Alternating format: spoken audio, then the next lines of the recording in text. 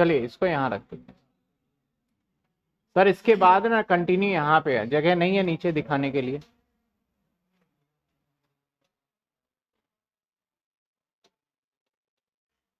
Question पहले समझ लेते हैं फिर ट्रांसफ़र कर देंगे एक करके एंट्री कोई बड़ी बात नहीं है।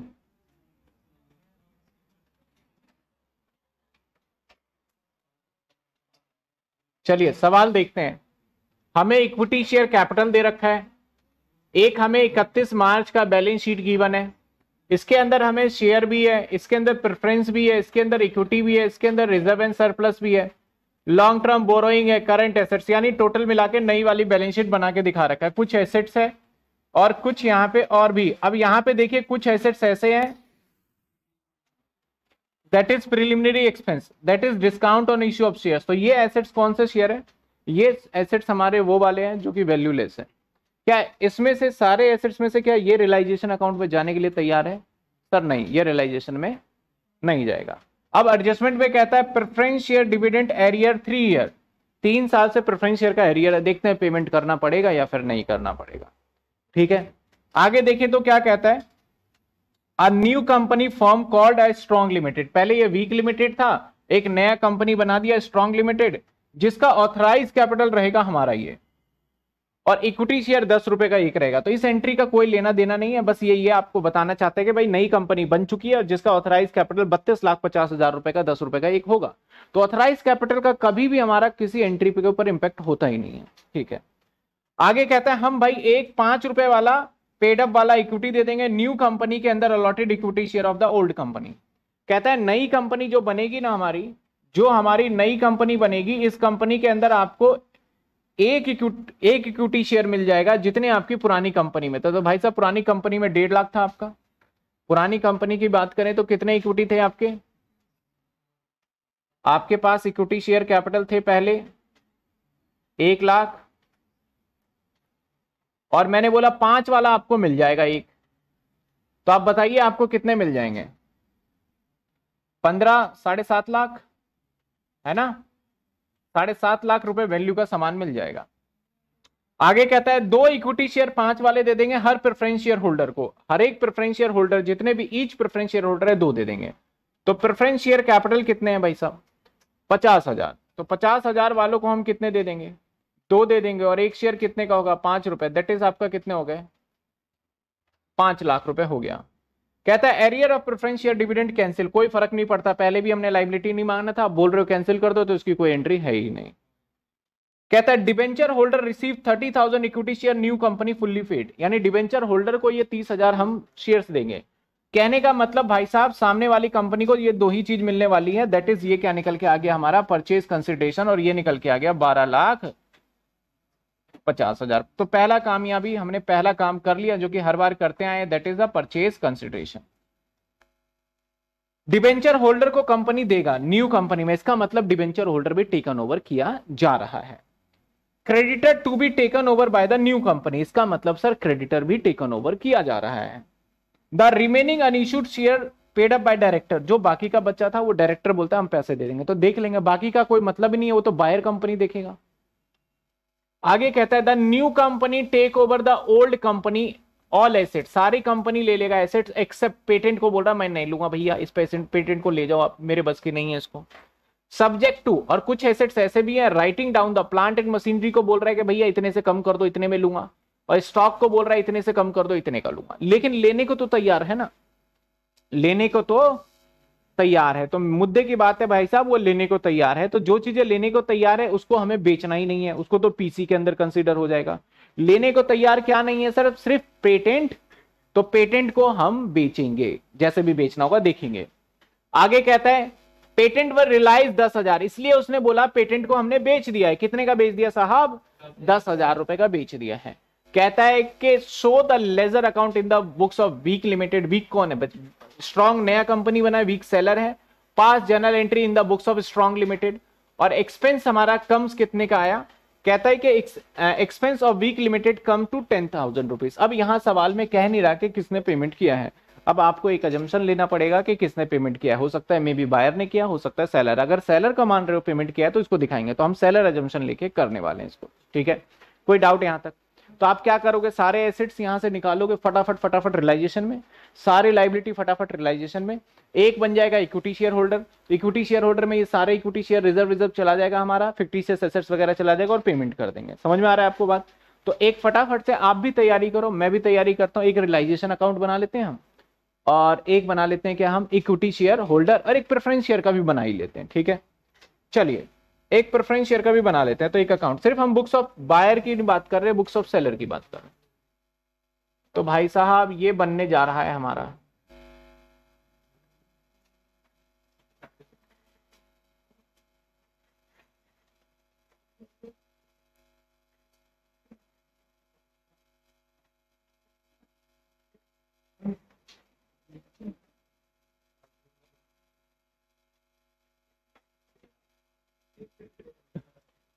Realisation account. रिलाइजेशन अकाउंट का मतलब हम कंपनी को बंद करने जा रहे हैं। बंद करने जा रहे हैं तो क्या करोगे सर? बेसिक सी बात है, उसके सारे एसेट्स उठा के फेंक दो बाहर। लाइबिलिटी को निकाल दो, कंपनी वैसे बंद हो जाएगी। मतलब बैलेंस शीट में से एसेट्स निकाल लो लाइबिलिटी निकाल लो। एक बनाएँगे हम शेयर कैपिटल अकाउंट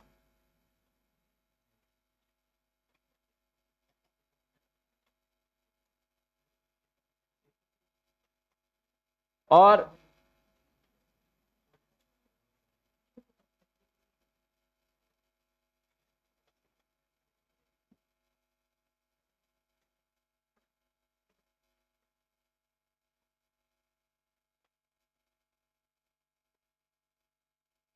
एक इक्विटी का भी बना लेते हैं, लगे हाँ। पहले पर्टिकुलर वगैरह लिख लो।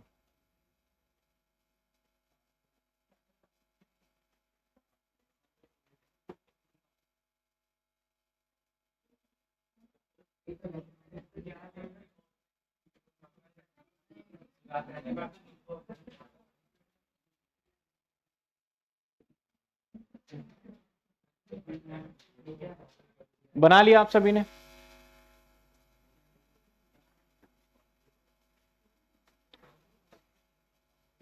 सर स्क्रीन नहीं समझ आ रहा है। सर स्क्रीन क्लियर नहीं आ रहा। कोई बात नहीं, मैं पढ़ दूँगा। मैं बड़ा कर देता हूँ अभी सवाल को, क्योंकि वहाँ तो कुछ कर नहीं रहे, बस पीसी निकाला है तो क्वेश्चंस बड़े बड़े कर देते हैं, ठीक है? कर देते हैं। सर, ये J R yes J R Monga से ही क्वेश्चन लिया गया है। सर, ये क्लीन शो नहीं है। थोड़ा जूम करो, ठीक है? ओके मैं क्वेश्चन कर देता हूँ। इसको अलग कर देते हैं। That is a PC sir, सब कुछ एकदम साफ़ साफ़ कर देते हैं इसमें।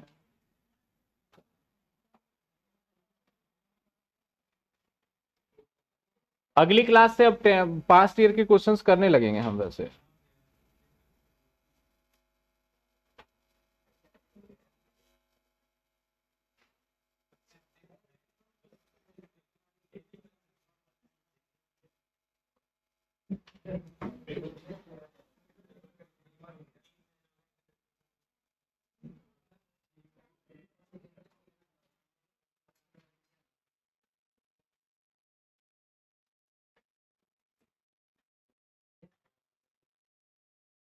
ये आसमानी आसमानी पता नहीं क्यों हो गया ये।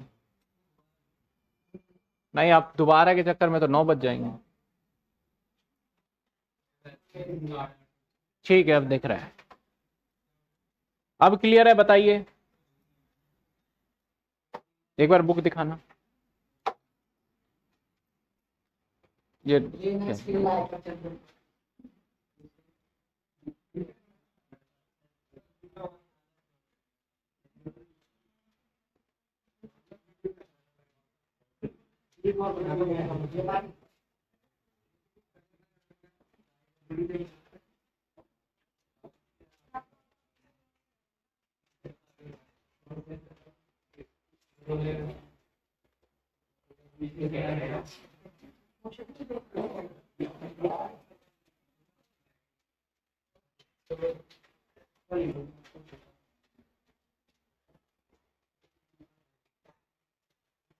मेरा तो दिमाग ही गर्म हो जा रहा है।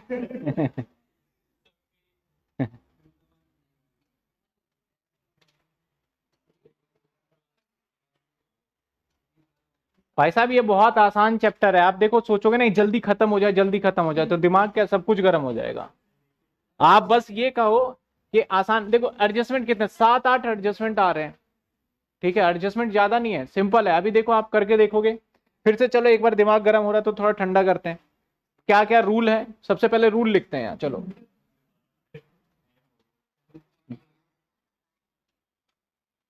क्या क्या करेंगे?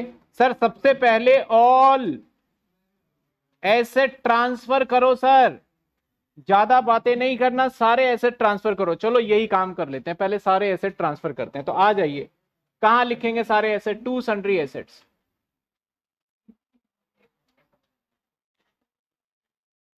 सारे एसेट्स यहाँ ट्रांसफ़र करें। चलिए, सारे एसेट्स चुन लेते हैं। एसेट्स यहाँ से सर ऊपर देखने की ज़रूरत नहीं है आपको। Sir property plant equipment plant and machinery furniture sir एक बात, यहाँ पे प्लांट एंड मशीनरी सात लाख का था और यहाँ कुछ और कह रहा था reduce by to ninety stock तो अब हम सात लाख रुपए लेंगे या घटा के वैल्यू लेंगे? तो मैंने वहाँ लिखा था बुक वैल्यू लेना है। मतलब कि भैया, जो नई वैल्यू है, उससे कोई लेना देना आपको नहीं है बुक वैल्यू तो कितना लेंगे? सात lakh plant and machinery furniture दो लाख रुपए। चलिए आ जाइए। प्लांट एंड मशीनरी सात लाख। और फर्नीचर दो लाख। और सर, एक चीज़ मैं बताना भूल गया, ये सारे के सारे एसेट्स ग्रॉस वैल्यू पे लिए जाते हैं। मान लो इन केस डेटर दे रखा है डेटर के नीचे आपको प्रोविज़न फॉर डाउटफुल डेट्स करके दे रखा है तो आपको ग्रॉस वैल्यू लेना है और उसके होने वाले प्रोविज़न को हम इधर उठा के रखते हैं। ठीक है तो जब सवाल में आएगा तब देख लेंगे। वैसे अब तो नई बैलेंस शीट में ये देगा नहीं। इसके बाद हमने क्या ले लेना है सर? गुडविल लेना है? बिल्कुल लेना है। चार लाख, डेढ़ लाख पेटेंट। गुडविल चार लाख और पेटेंट डेढ़ लाख। सर और देखते हैं। सर, करंट एसेट्स में क्या इन्वेंट्री लोगे आप? बिल्कुल लेंगे। सारे एसेट्स लेंगे भाई साहब। इन्वेंट्री कितने का है? चार नब्बे का ट्रेड रिसीवेबल दो पचपन। इन्वेंट्री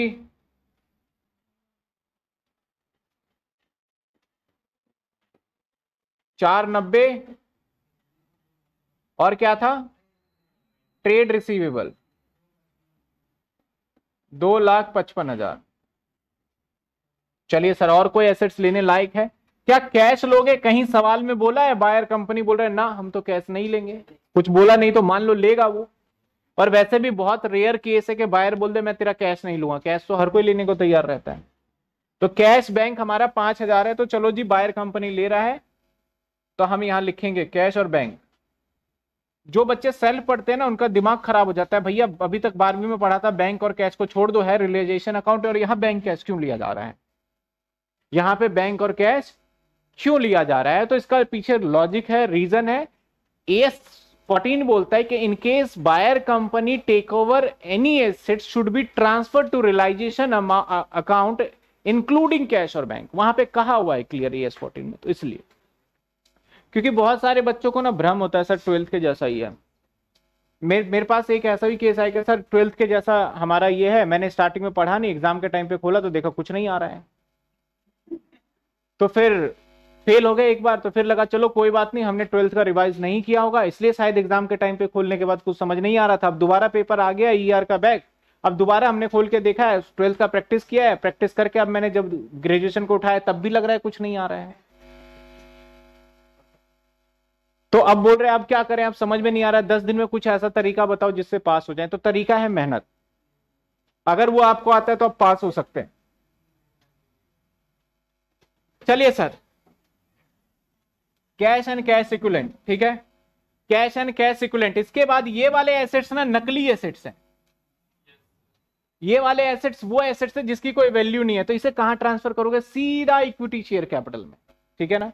तो प्रिलिमिनरी एक्सपेंस डिस्काउंट आठ हज़ार और बारह हज़ार। चलिए प्रिलिमिनरी एक्सपेंस टू में। और डिस्काउंट सर कितने का था? सर, ये था हमारा आठ और बारह। आठ और बारह। समझे बात? कोई दिक्कत यहाँ तक। सारे एसेट्स हमने ले लिए। सारे एसेट्स ले लिए।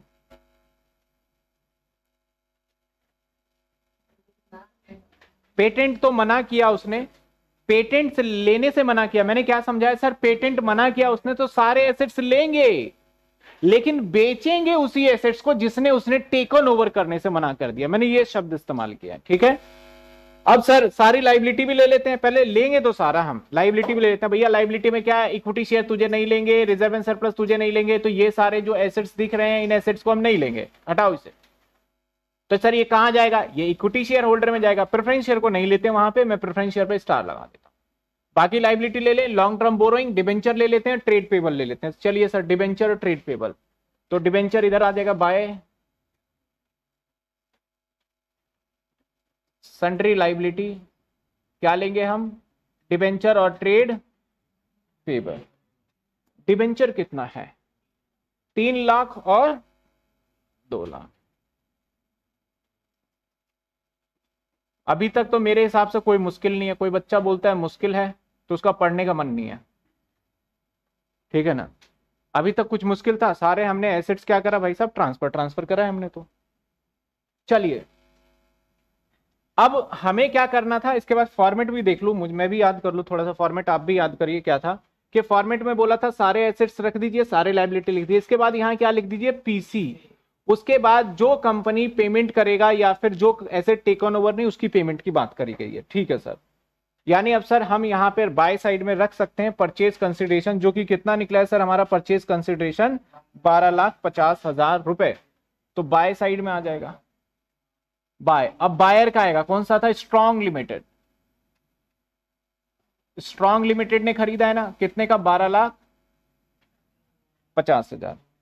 सवाल में कहता है, भैया, हमने पेटेंट तो नहीं लिया, लेकिन हम पेटेंट को मार्केट में बेच के आएँगे दस हज़ार। मैंने कोई बात नहीं, बेच दो मार्केट में दस हज़ार। नहीं लिया था तो इसलिए मार्केट में बेच देंगे तो बाय साइड में लिख देंगे, sir, by bank by bank और पेटेंट को सेल कर दिया। दस हज़ार। कई बार एग्जामिनर क्या करता है, देखो, पेटेंट हमारा कितने का था? पंद्रह हज़ार, डेढ़ लाख का था। दस में ही बिका बस। है? वही देख रहे हैं, देख रहे हैं। दस हज़ार का बिका, तभी तो नहीं ले रहा था वो। क्योंकि डेढ़ लाख का एसेट दस में जा रहा है, इसलिए बोल दिया, इसका हम वैल्यूएशन नहीं करेंगे। बेकार है भाई तेरा ये तो। तो दस डेढ़ लाख का था कई एग्जामिनर का बोलना है कि भाई, एक बार ध्यान से देखो, यहाँ पेटेंट डेढ़ लाख है, यहाँ एक तरीके से आपको इस एसेट्स पे नुकसान हो रहा है और कितने का नुकसान हो रहा है, एक चालीस का। तो एक चालीस का नुकसान सीधा इधर दिखा सकते हो आप। मतलब दूसरा तरीका, कई बार बुक में करते हैं कि आप यहाँ पेटेंट मत दिखाइए क्योंकि बायर लेके नहीं गया। मैं दूसरा ऑल्टरनेट बता रहा हूँ। पहले जो बताया, बिल्कुल ठीक है, चल रहा है, बिल्कुल ठीक है, इसमें कुछ चेंज नहीं करना। दूसरा ऑल्टरनेटिव सर, जो एसेट्स नहीं लेके जाता, हम यहाँ भी नहीं दिखाएँगे और पेमेंट भी नहीं करेंगे, उसको बाहर से बाहर भेज देंगे। लेकिन उस एसेट्स पे होने वाला नुकसान और फ़ायदा यहाँ बुक करेंगे। तो अगर मैं यहाँ पे पेटेंट ना दिखाऊँ और यहाँ पे ये ना दिखाऊँ तो सिर्फ़ यहाँ पे कितना दिखा दूँगा मैं? एक लाख चालीस हज़ार। एक ये तरीका होता, जो कि मुझे सही नहीं लग रहा, क्योंकि थोड़ा सा इसमें रिदम बिगड़ जाएगा आपका, ठीक है? अब बात करते हैं, सर, और कुछ भी लेना है, क्या एसेट्स में लाइबिलिटी में से देखते हैं? रियलाइजेशन एक्सपेंस मैंने बोला था कि हम मान लेंगे कि पेमेंट करेंगे सर आप मान रहे हो सेलर कंपनी पेमेंट करेगा तो बैंक में लिखिए। टू बैंक और ब्रैकेट में रियलाइजेशन एक्सपेंस कितने रुपए का सर दस हज़ार। दस हज़ार रुपए का रियलाइजेशन एक्सपेंस अब तो कुछ नहीं बचा। अब कुछ नहीं बचा। अब यहाँ से या तो निकलेगा प्रॉफिट या तो निकलेगा लॉस और कुछ लाइबिलिटी ट्रांसफ़र करना है, जो कि ये वाले हैं। इक्विटी शेयर चला जाएगा हमारा बाय में कितना? पंद्रह लाख रुपए। इक्विटी शेयर चला जाएगा बाय में। इक्विटी शेयर कैपिटल कितने? पंद्रह लाख। प्रेफरेंस इसमें नहीं डालना भाई साहब। इसमें रिज़र्व एंड सरप्लस आ जाएगा। सर, रिज़र्व एंड सरप्लस में क्या है हमारा? एक प्रॉफिट एंड लॉस था शायद। कितने का? दो लाख अस्सी हज़ार का नुकसान। दो अस्सी का नुकसान तो नुकसान भाई साहब किधर आएगा? प्रॉफिट था तो इधर आ रहा था, नुकसान दे रखा है तो इधर लिखेंगे। To reserve and surplus. Loss अब इधर आ जाएगा, ठीक है? कितने? दो अस्सी का। समझे बात? यानी जो लाइबिलिटी का पॉजिटिव बैलेंस है वो तो इधर लिख रहे थे, लेकिन अगर कोई नेगेटिव लॉस आ गया तो वो किधर आ जाएगा? इस साइड आ चलो सर यहाँ तक किसी को दिक्कत बताओ। यहाँ से हटा दे रिज़र्व एंड सरप्लस पहले ये वाला देख लो, ये पॉइंट थोड़ा सा आपको लगेगा, थोड़ा सा हटके नया आ गया, यहाँ तक कोई दिक्कत सर स्ट्रॉन्ग लिमिटेड बारह लाख पचास हज़ार कैसे आया? ये परचेज कंसिडरेशन है। ये परचेज कंसिडरेशन है जो पीछे निकाला, जो स्ट्रॉन्ग लिमिटेड देने वाला है हमें, जो कि स्ट्रॉन्ग लिमिटेड हमें देगा। परचेज कंसिडरेशन है।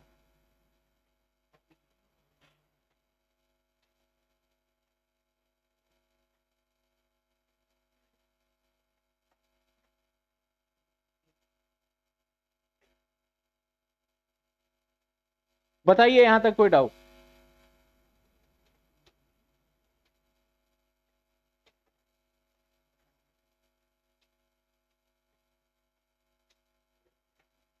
चले आगे।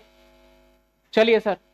अब यहाँ से जो भी निकलेगा बैलेंस लॉस निकले चाहे प्रॉफिट निकले, इसका हकदार कौन है? इक्विटी शेयर होल्डर इसका हकदार सर इक्विटी शेयर होल्डर ही है। तो सर ये सर पहले इसको टोटल करते हैं। सात लाख, दो लाख, चार लाख, डेढ़ लाख, चार लाख, नब्बे हज़ार, दो पचपन हज़ार और पाँच हज़ार। बाईस लाख। इधर भी देख लेते हैं। तो सर, इधर का टोटल ज़्यादा कहाँ का लग रहा है? मेरे को यही ज़्यादा लग रहा है। तो बाईस लाख दस हज़ार।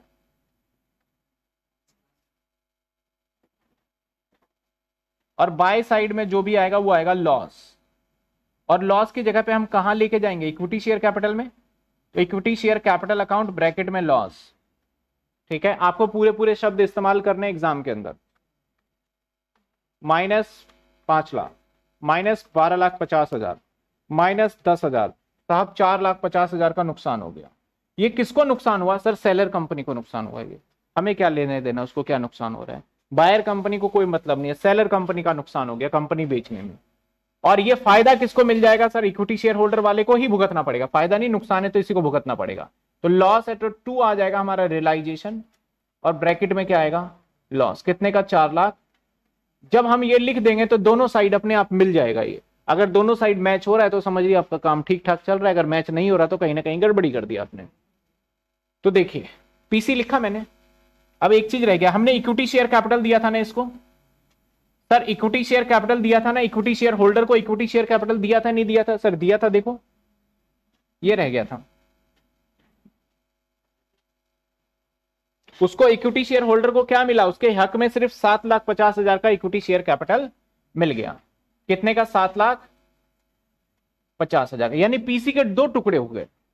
प्रेफरेंस वाले के मैंने इसमें नहीं लिखा तो प्रेफरेंस वाले को हम अलग लेके चलेंगे। सिर्फ़ इक्विटी वाले का यहाँ डिस्चार्ज की बात करेंगे तो सर, पंद्रह लाख। इसका टोटल तो आसान है, फटाफट हो गया। ये भी पंद्रह लाख आएगा। चेक कर लो। आठ हज़ार, बारह हज़ार टू एट्टी सात पचास और चार पचास, है ना? चार पचास। तो सर,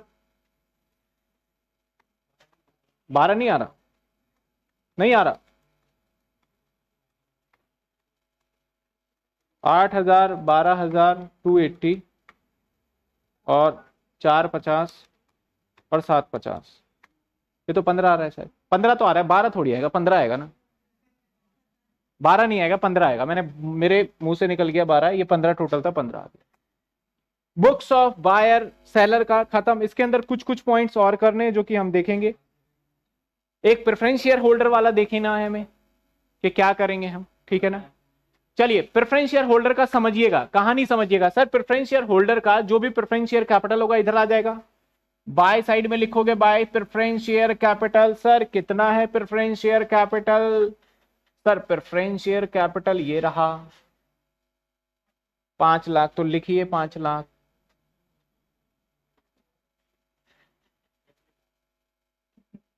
अब इसको मिला क्या? प्रेफरेंस शेयर ही मिला। तो टू प्रेफरेंस शेयर कैपिटल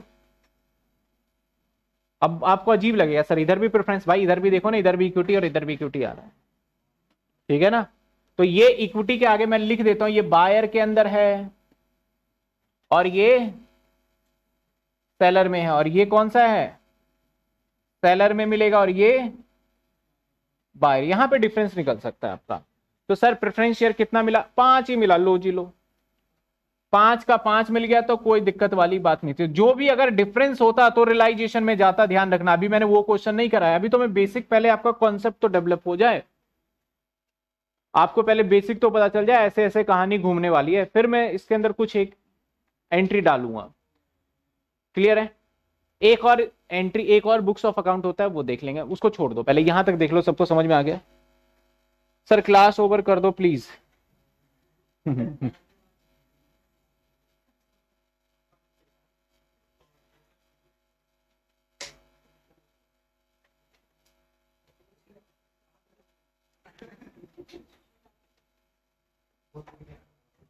यहाँ तक सभी बच्चों को क्लियर है, इसका मतलब आपको एमेलगमेशन आ रहा है। जिस बच्चों को यहाँ तक समझ में आ रहा है तो अपने आप को समझाएँ कि ये चैप्टर हमें समझ में आ रहा है।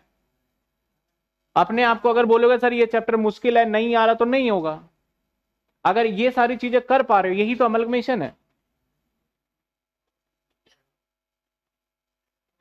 क्लियर सर चलिए क्लियर हो गया। अब जर्नल एंट्री भी देख ले। वो बहुत आसान लेजर से जर्नल एंट्री करना बहुत आसान होता है। देखो, कैसे करेंगे? ये सारी एंट्री रिलाइजेशन टू सारी एंट्री इसके बाद रिलाइजेशन से ये एंट्री यानी जो इस अकाउंट के अंदर है, सबको रिलाइजेशन से एंट्री कर देंगे। ठीक है ना? तो अगर मैं रिलाइजेशन से एंट्री करूँ, मैं सारी जनरल एंट्री तो नहीं छोटे छोटे एंट्री सिखाता हूँ अभी। फ़र्स्ट एंट्री पहली एंट्री है ऑल एसिड्स जब ट्रांसफ़र होगा।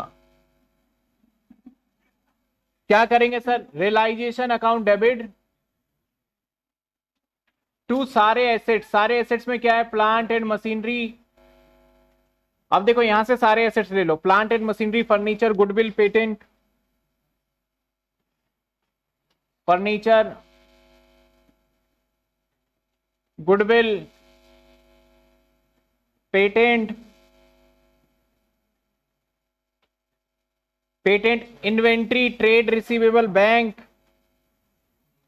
inventory trade receivable, to bank, ये सारी एंट्री कर दिया। बैंक का अमाउंट मुझे याद है, बस लिख देता हूँ मैं। बाकी बताते जाओ, इसका क्या था प्लांट मशीनरी का? सात, दो, चार, डेढ़। सात लाख, दो लाख, चार लाख, डेढ़ लाख दो अस्सी दो अस्सी था नहीं। चार नब्बे और दो पचपन। चार पचपन और चार नब्बे। इन सभी को जोड़ के रिलाइजेशन में लिख दो। इन सभी को जोड़ के रिलाइजेशन में लिख दो। तो इन सभी को जोड़ आ रहा था, मैंने यहाँ लिखा था। अब देखो, इसका फ़ायदा क्या मिलेगा? जनरल एंट्री में। आपने टोटल किया टोटल लिख देंगे, बाईस लाख। समझे being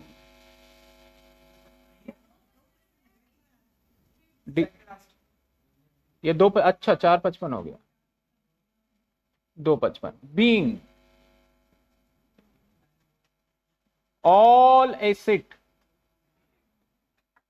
transfer to realisation account इसका मतलब है भाई साहब एसेट्स को रियलाइजेशन अकाउंट में ट्रांसफ़र कर दिया है।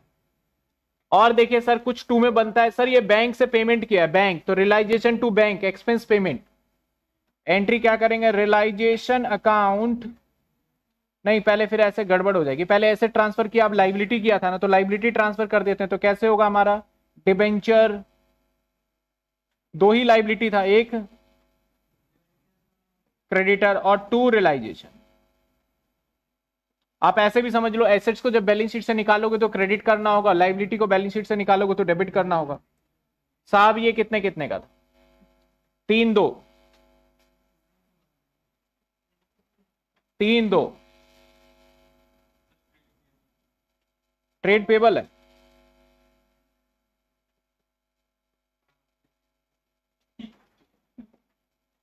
परसेंटेज परसेंटेज लगा लेना भाई आप। Being all liability transfer to realisation account बताओ, इसमें कोई मुश्किल? अब हम क्या करेंगे? पीसी जो है इधर, इस साइड में जो पीसी आया है, इसकी एंट्री कर देंगे। रियलाइजेशन इसको अब इधर वाले को डेबिट करेंगे। स्ट्रॉन्ग लिमिटेड टू रियलाइजेशन क्या करेंगे sir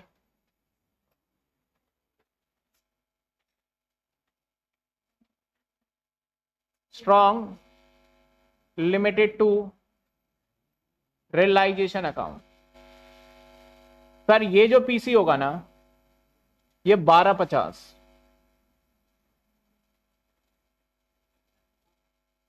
बींग पीसी ट्रांसफ़र चलिए सर, इसके बाद क्या करें?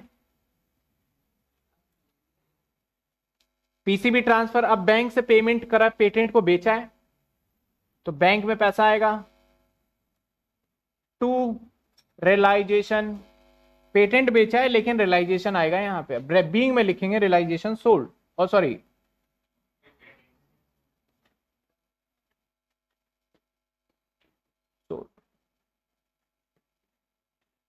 दस हज़ार, ठीक है?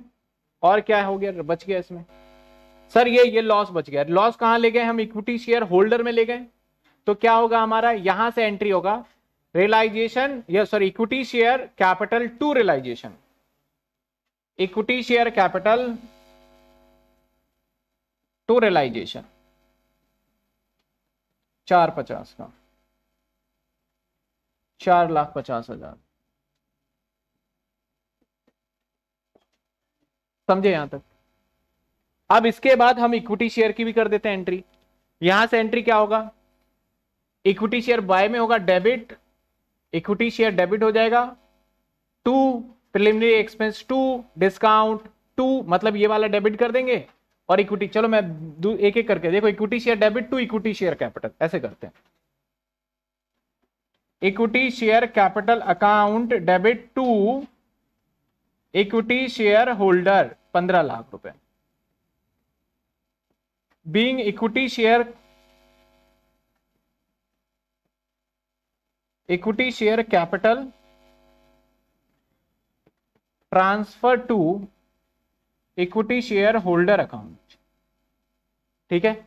या बोल सकते हो अमाउंट इसका ड्यू करने जा रहे हैं। अब क्या करेंगे हम? इक्विटी शेयर होल्डर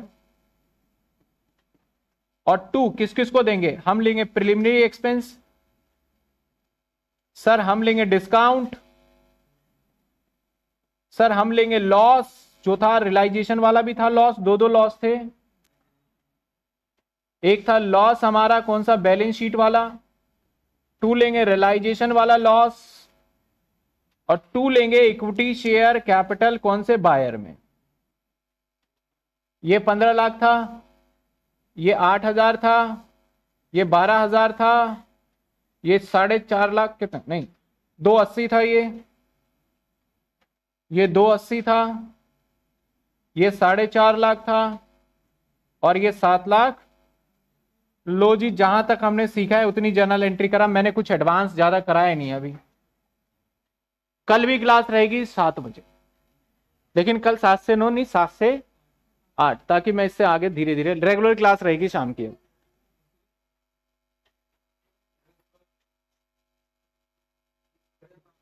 एनईपी वालों का सुबह कोई काम नहीं।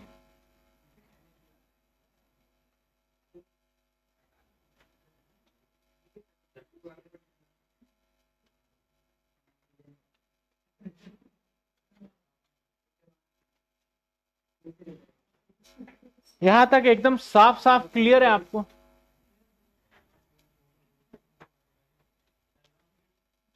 क्लियर है यहाँ तक। तो आज की क्लास में हमने क्या क्या सीखा?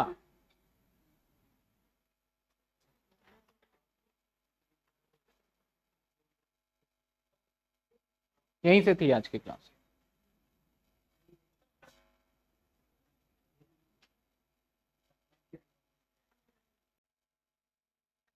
सर, आज की क्लास में हमने क्या देखा? कि जब बुक्स ऑफ़ सेलर को प्रिपेयर किया जाता है तो सारे के सारे एसेट्स हमें रियलाइजेशन के अंदर ट्रांसफ़र कर दिए जाते हैं। जितने भी एसेट्स है, सारे रियलाइजेशन अकाउंट के अंदर ट्रांसफ़र कर दिया जाएगा, एक्सेप्ट कुछ वैल्यूलेस एसेट्स को ट्रांसफ़र नहीं किया जाएगा। अब कैश की बात करें तो कैश को ट्रांसफ़र भी किया जा सकता है और नहीं भी किया जा सकता। है डिपेंड अगर कैश टेकन ओवर किया गया है तो ट्रांसफ़र करेंगे अदरवाइज़ नहीं करेंगे। सारी लाइबिलिटी को यहाँ पे ट्रांसफ़र कर दिया जाएगा। इक्विटी शेयर और रिज़र्व एंड सरप्लस को यहाँ ट्रांसफ़र किया नहीं जाता। बाकी एक्सटर्नल लाइबिलिटी को ट्रांसफ़र कर दिया जाता है। इसके बाद हमें यहाँ परचेज कंसिडरेशन को एंट्री कर देते हैं। परचेज कंसिडरेशन के बाद जिस एसेट्स को टेकन ओवर नहीं किया गया था, उसको बेच दिया जाएगा बैंक से। और रियलाइजेशन एक्सपेंस की मज़े की बात देखें तो रियलाइजेशन एक्सपेंस कैसे ट्रीटमेंट करेंगे? रियलाइजेशन एक्सपेंस में सर ऐसा हो सकता है कि मे भी पॉसिबल है कि रियलाइजेशन एक्सपेंस का पेमेंट सेलर करे और मे भी पॉसिबल है रियलाइजेशन एक्सपेंस का पेमेंट बायर करे। अगर रियलाइजेशन एक्सपेंस का पेमेंट सेलर करता है तो उसे रियलाइजेशन अकाउंट में ट्रांसफ़र किया जाता है। अगर बायर करता है तो दो केसेस हो सकता है। या तो वो पूरा पेमेंट कर देगा या फिर वो पार्टली पेमेंट करेगा। अगर पूरा पेमेंट करता है तो सेलर कोई भी एंट्री नहीं करेगा क्योंकि उसके जेब से कोई पैसा नहीं गया। लेकिन अगर वो पार्टली पेमेंट करता है तो ऐसे केस में हो सकता है मतलब directly payment indirectly partly payment में जितना पार्ट पेमेंट नहीं किया बायर ने, उस पार्ट को हम रियलाइजेशन के अंदर क्या करेंगे? शो कर देंगे। सर रीएम्बर्समेंट का भी एक केस आता है। रीएम्बर्समेंट में कोई एंट्री सेलर नहीं करेगा, लेकिन बायर करेगा। बायर की बुक्स के अंदर अभी हम देख लेंगे कैसे एंट्री करेंगे। तो ये था हमारा एक्सपेंस का सारा ट्रीटमेंट